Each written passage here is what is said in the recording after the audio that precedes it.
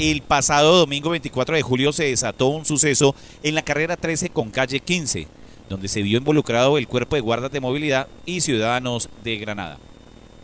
Según versiones narradas por testigos, en una motocicleta se transportaban tres personas. Los guardas de movilidad se encontraban al lado opuesto. Al percatarse de la infracción de los de la motocicleta, procedieron a detenerla y posteriormente a inmovilizarla. La comunidad no comparte el proceder de la autoridad debido a que no había ninguna señalización ni puesto de control. No justifican a los infractores, pero están en desacuerdo con la forma de proceder de la autoridad. Como si fuera poco, se genera una agresión verbal y física hacia la autoridad de tránsito y policial. Este tipo de sucesos se están convirtiendo en algo común en este municipio.